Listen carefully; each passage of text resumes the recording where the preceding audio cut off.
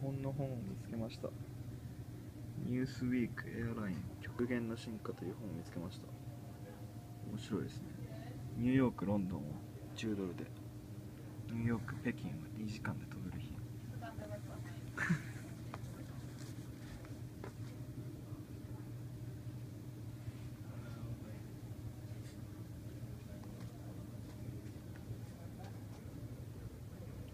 勉強していますニューヨーク・タイムズとかいろんなやつが見ますこっちにも雑誌がたくさんありますこの学校の図書館は日本と違って日本というか僕が行った大学は京都の大学だったんですけど学生証がないと図書館に入れなくてななんでだろうって思ってそしたらもう学校の人だけのに開放されてるんですね。